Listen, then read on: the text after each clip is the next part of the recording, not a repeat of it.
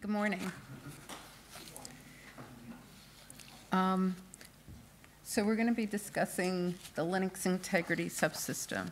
And the question is, what is the, what comprises the Lin- Linux integrity subsystem? And it's basically, there's two parts, there's IMA and there's EVM. And then it's dependent on a number of other subsystems, some of which were developed specifically for this use.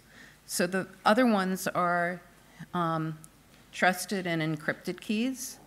And, um, and Dmitry upstreamed, he wasn't the first one to attempt it, but um, his, um, he upstreamed the MPI library used for um, signature verification, the MPI library.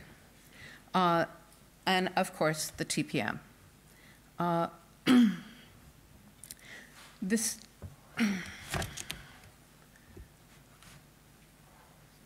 The talk will mainly cover um, the IMA overview section and the recent developments at the very bottom. And just for completeness, I've included um, the uses of IMA, um, IMA measurement to be specific, and the namespacing when we eventually get to namespacing, and what the direction will be when we get there.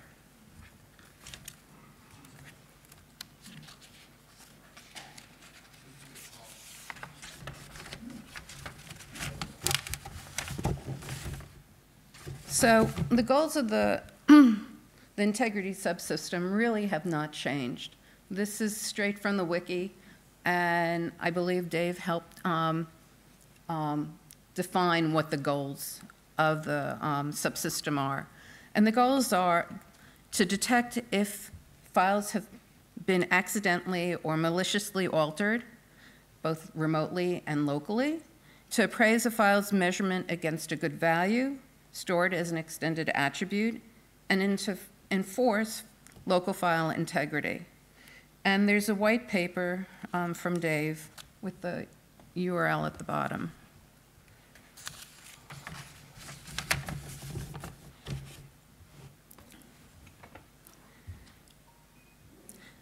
So the goal of detecting if files have been accidentally or maliciously altered correlates to the first um, time of measurement. And it's pointless to ask the system if the system has been compromised. If it's been compromised, it can lie to you. So we don't, we need a method without asking the system if it's been compromised. The, um, the second and third goals um, um, appraising a file's measurement against a good value and enforcing local file integrity correlate to the, to the IMA appraisal. The good values are um, either a ha file hash or a file signature are stored as an extended attribute. Um, and we use a specific keyring to say which keys can be used to verify the file signature.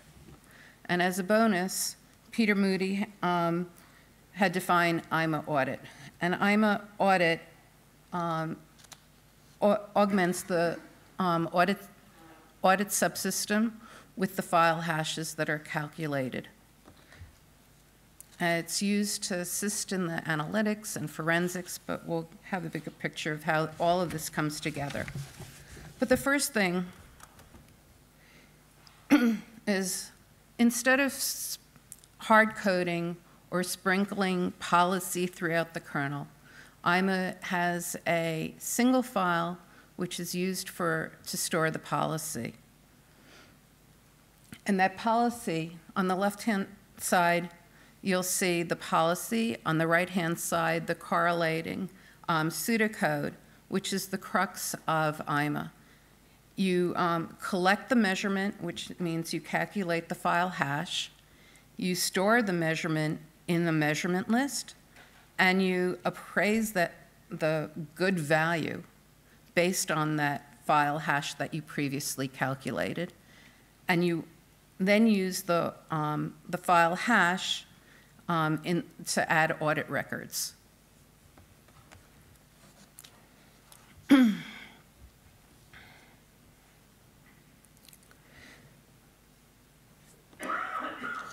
So the reason that I used, this is a simple policy, and the reason that I used um, this policy is because if you're enforcing the file appraisals on your system and there are no keys or there's no signatures, well, then your system might not work exactly right and it might hang.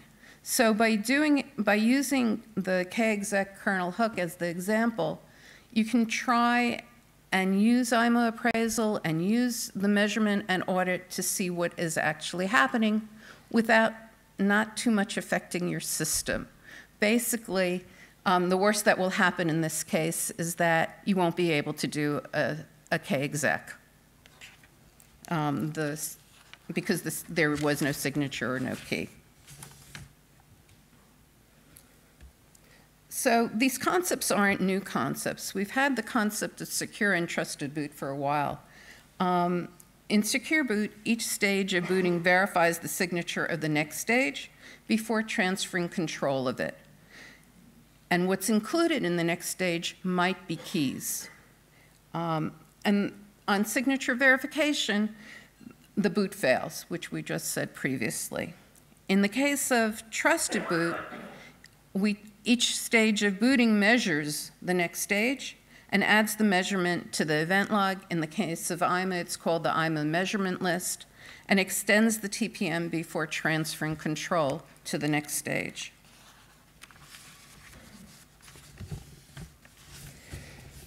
So um, in this diagram, we show what is entailed in order to verify um, signatures. This is the appraisal, this is the secure boot, the equivalent of extending sec secure boot to the OS.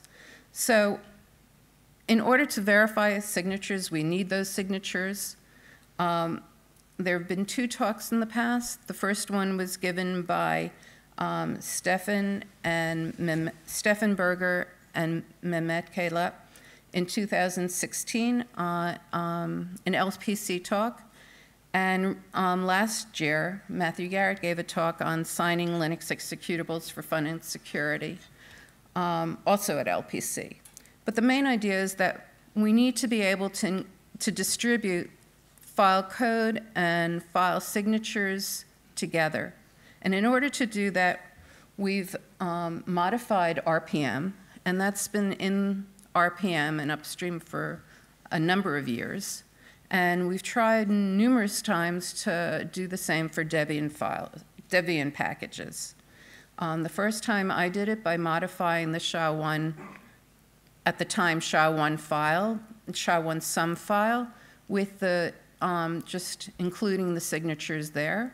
The second attempt was by my colleague Stefan Berger, who um, modified the version of tar that they had didn't, in the package, um, to install the packages, did not include um, extended attributes. So he modified the tar to include the extended attributes.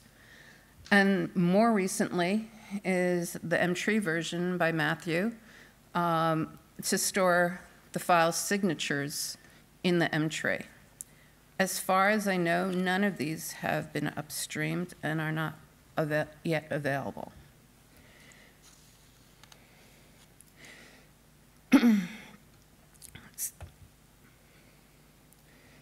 so assuming that we have, that the file, files are distributed, packages come with file signatures, um, there will be different use cases as to who does the signing, who accepts what key, Sometimes you'll want it from the distro, sometimes you'll want to redo it on your own to limit what can actually run on your system. And you would do that based on re-signing the files um, for more of a key granularity. so as we said, IMA is based on policy. So the first thing that you need to do is define a policy. The appraisal um, which itself has, should be signed and would only be loaded if the signature verified. So these are a couple of the built-in policies. Uh, you have appraised TCB and um, secure boot, but all these policies are overwritten by a custom policy that you can define um, and can load by your, um, on the system.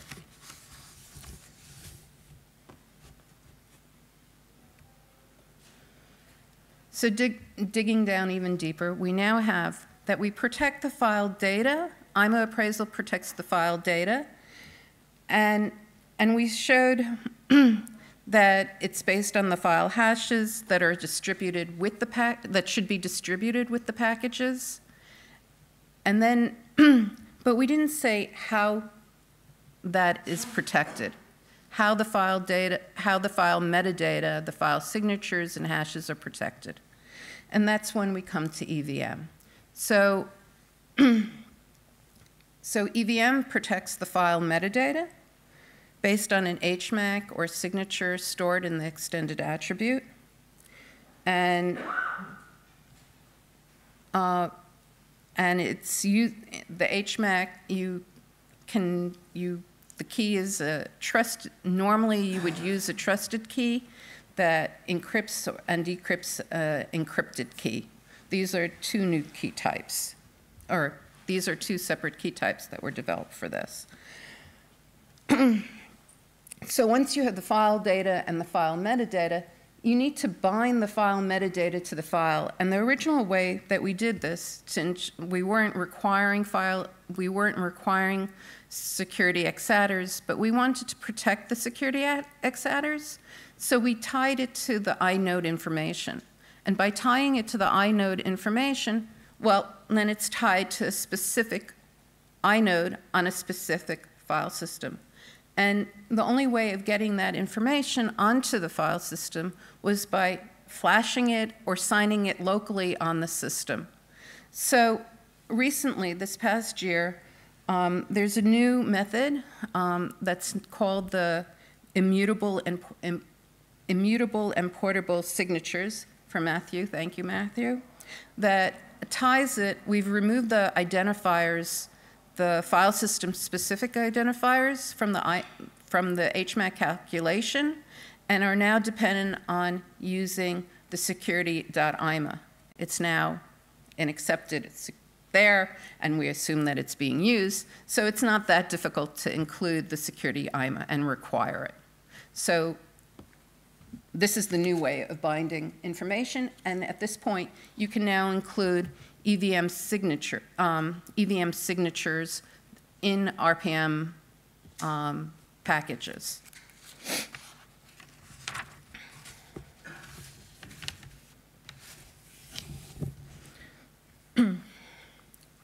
so originally, originally, originally, we had, uh, for mutable files, we have mutable files by definition can't be signed because if they are signed, well, they're not going to work if you change them.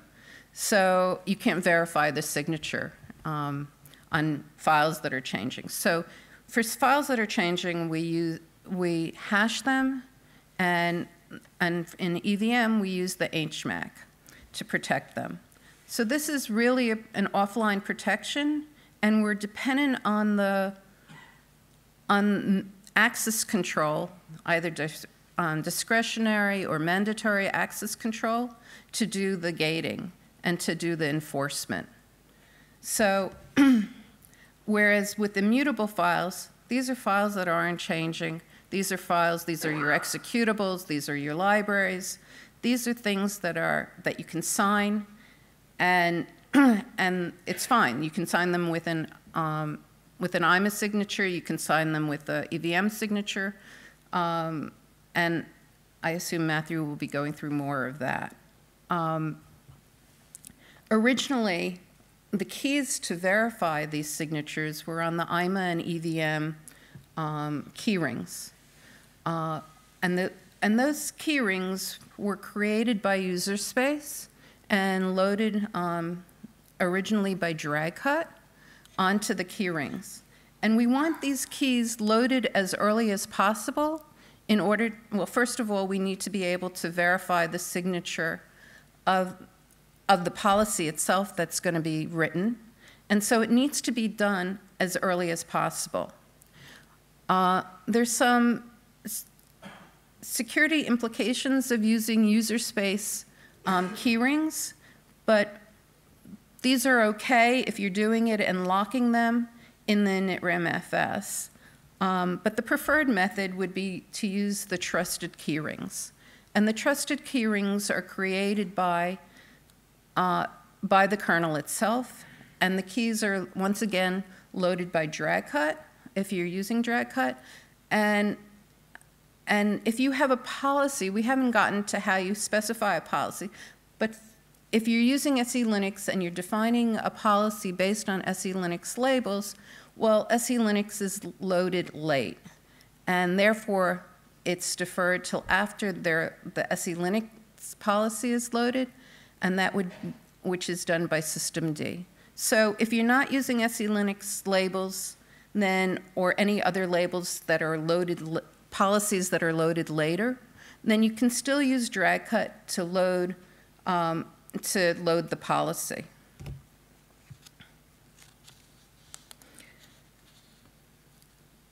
the other thing about the EVM and IMA keyrings, the trusted EVM and IMA keyrings, is that keys that are loaded onto this keyring need to be verified.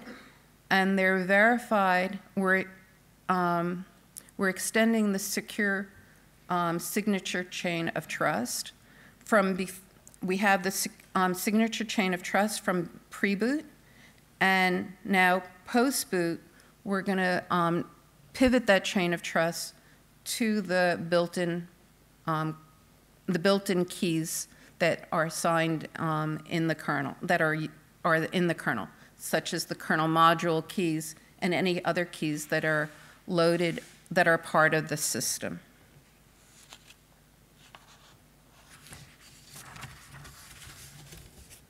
So this basically, this diagram um, basically shows that you have the local CA key, and it's used to sign other keys, and it can be used to sign third-party keys. And the question is, how, how can we get this local CA key into, onto the built-in keyring um, in order to verify the keys as they're being added to um, the IMA keyring. And this, the same goes for EVM. So there are two methods currently. Um, the first method is just like the, um, the kernel modules, you build them into the system. This is the simplest. If you're, um, if you're building your own kernel for your own use, then you just build them right in. There's a configuration option so that you don't have to figure out where the um, the dir um, file is, and you just def define where that file is on your configuration. Otherwise, you can just add it to the same, um, to the modules um, file, the module certs file. The second way is by reserving memory for the key. So suppose that you want to uh, run a stock distro, you don't want to build your own kernel, um, and you want to insert a key. So we have a method for inserting a key into the kernel. It's kind of sort of upstream. There, the initial patches were upstream, but there are a couple more that make it more usable um, and fix a couple of, the, of problems that were found with it. Those have not been upstreamed.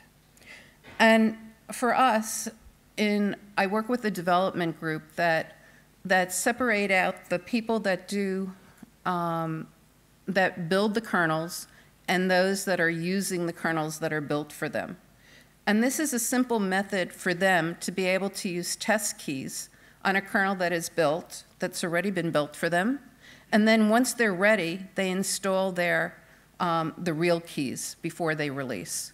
And so there's no, they've already tested the kernel and everything is in place. So there's different use cases for being able to embed these keys post-install.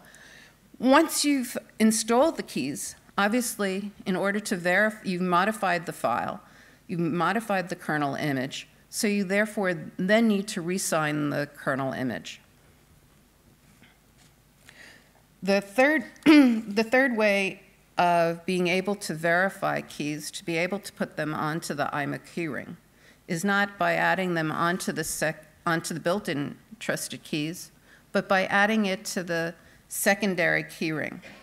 And there are out-of-stream patches that do this.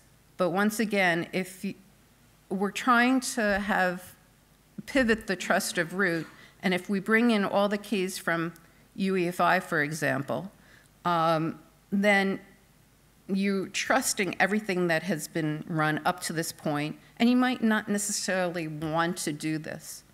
So, from my point of view, this is not the most optimal way of, of, of, of loading keys onto the IMA keyring.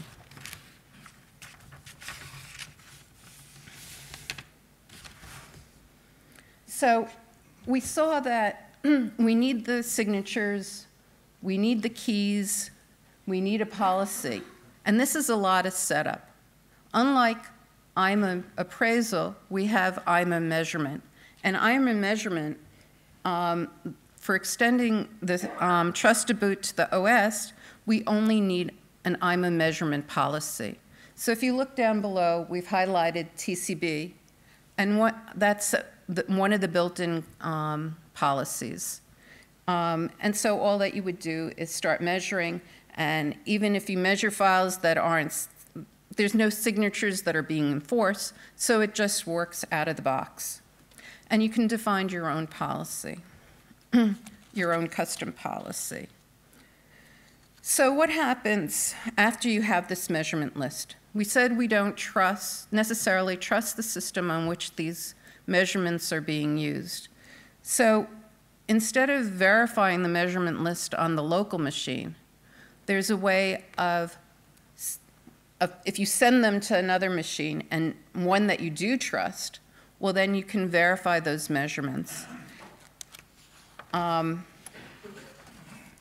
and those measurements can be then used as um, part of your analytics. It can augment your existing analytics with the file hashes. And it can also be used for forensics to know what has been run on your system.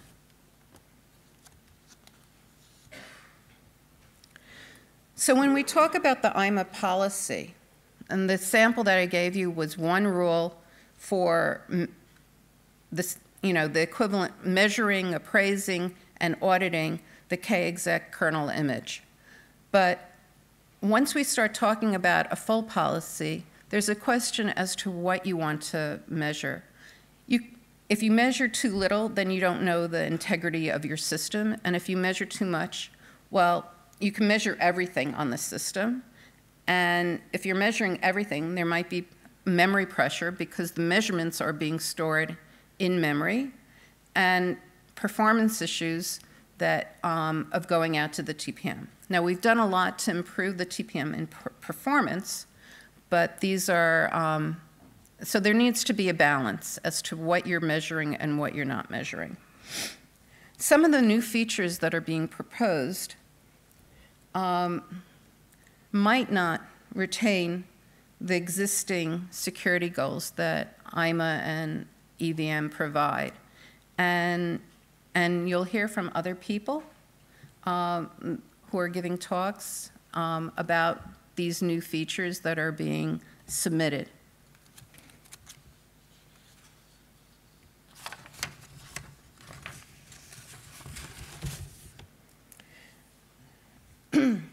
So when we, we spoke about at, we spoke about sending the files to the remote um, host for verification.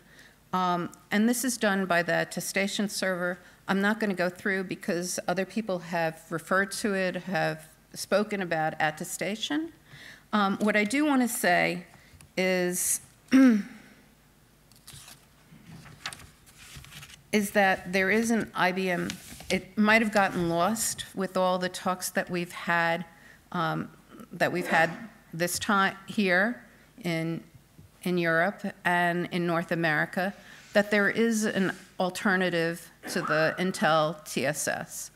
Um, IBM does have an attestation, an open source attestation client server and an open source TSS.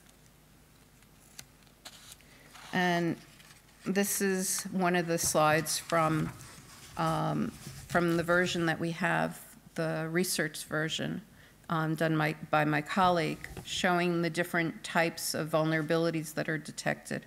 Not having a key, having a bad key, not having a signature, and so forth.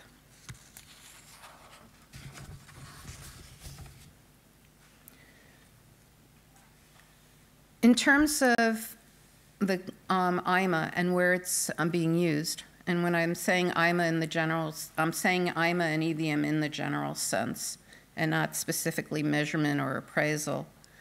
Um, they're being used on the host system and in the virtual machine. Uh, and the plan is to have the same in, to have the same features running in the namespace, but we still have some um, issues with how we're going to do this in a general sense, and not for all of the LSMs to go off and do their own thing, and have different ways of starting and enabling um, names, um, namespacing. So when we do get to solve this problem, um, the IMA will stage the changes, the support, into the kernel. It's a major, huge undertaking, and we're going to stage it so that the first thing that will get upstreamed, which has the least amount of um, other file system changes, is IMA audit. And the, and the audit subsystem has already, there's already patches out there, and assuming they are upstreamed, will have, um, will already provide the, ident the Container identifier for the audit subsystem. Um, the measurement, on the other hand, requires a policy, and that policy requires um, virtualizing securityfs, and different, different subsystems are using securityfs. So there needs to be a way of only exposing the IMA material within the, within the container and not, and not leaking other information. And lastly, IMA appraisal. That requires even more changes, and those changes are for keyrings, and David mentioned namespacing keyrings. So we're looking forward to seeing that.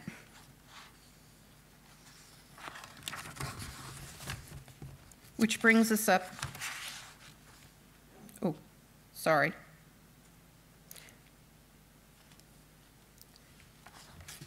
Which brings us up to the new features. So we've already spoken about portable and immutable EVM signatures, and these were done in this past year by Matthew. And the other piece is um, support for adding other security extended attributes. Um, all of them, initially, it wasn't limited to security um, extended attributes, but for the time being, um, because only root can write security extended attributes, we're limiting it to root and to, um, to the security xattrs. We'll have to um, look in the future as to whether or not we can, um, if there's, if it's possible to include other um, xattrs or other information as well. okay, so we, when we on the first slides, we spoke about the IMA policy. The IMA policy was limited to, um, a, it started out as a built-in custom policy, and they were replaced by, um, they were replaced by a custom policy. We've recently extended um, this um, so that you can have, you can build into the kernel a build time IMA policy that persists after loading a custom policy. And then Nayna and Thiago will be discussing the, an IMAS, um, an architecture-specific policy later.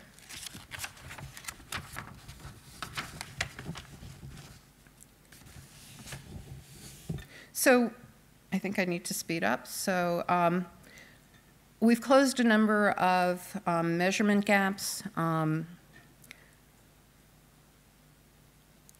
one of those, uh, one of the, uh, actually, on this slide, we, um, what we're speaking about is iVersion. So in order to be able to detect if a file changed, it required iVersion support in the file system. And, but that's really only a performance improvement. So instead of um, requiring iVersion, now if the file has if we don't have iVersion support, we just assume the file has changed because we have no way of detecting that. And unlike on the Fuse file system, um, we um, the Fuse file system also doesn't have iVersion support, and but we don't trust Fuse file systems. So if it was so the decision was to say if the Fuse file system was an unprivileged mount, we're only going to measure it once because it's untrusted. Um, and on the privileged, when it's a privileged mount, we assume that you have other methods of deciding what you're allowing to be mounted by root on your file system. And so um, in that case, since we don't have a method of detecting when the file changed, because it doesn't go through the kernel's file system, this is all in user space, we remeasure it every time it's, um, the file is opened. And there's now discussions as to whether or not we can support some form of file detection of change. And that, um, that's an ongoing discussion on the mailing list.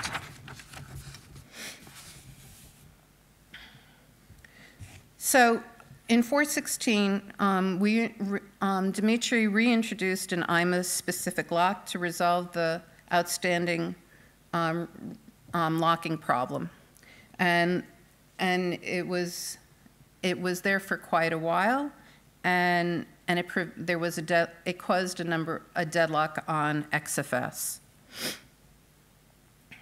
And the other the other um, major improvement is, as I mentioned previously, was TPM performance. And not only, even after we made the change of using the HR timer, other patches have been upstreamed, and now the performance, there's a major performance improvement with the TPM. So that when you extend the TPM, um, it's, we can have more measurements and um, and not be sitting around, you know, just twiddling our thumbs to wait to do the next measurement. And as I mentioned previously, we disambiguated the um, IMA audit records so that when namespacing is upstreamed, that it will just work um, out as it is, the audit, IMA audit.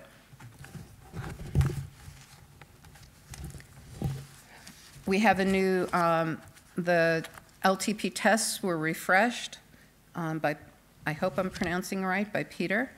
And um, we are working on a standalone version of the IMA test, which will be part of, eh, um, which can be called out from LTP and xfstests. That has not been, that has not been released yet. Um, so we're continuing to close measurement gaps. There's still a number of them out there that we haven't um, closed. Um, and a number of these topics will be discussed in subsequent, subsequent talks today. So how can you help?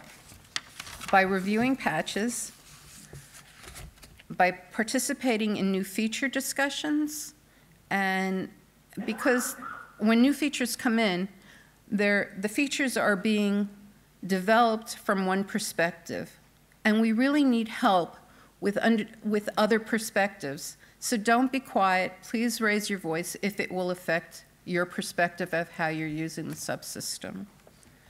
And help with documentation, help with um, closing some of the audit gaps would be much appreciated.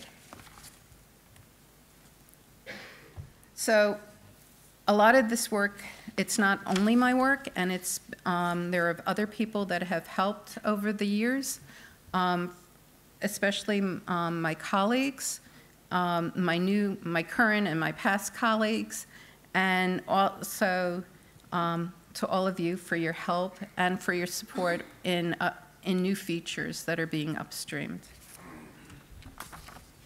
Thank you, Mimi. So maybe we have time for a couple of very quick questions. A bit over time, but. And I also want to mention there is uh, IMA-related um, for discussion planned during today's lunch. So if you're interested, I guess you will go see Mimi to know where it's happening. So, so if there are no questions, let's thank Mimi for the talk.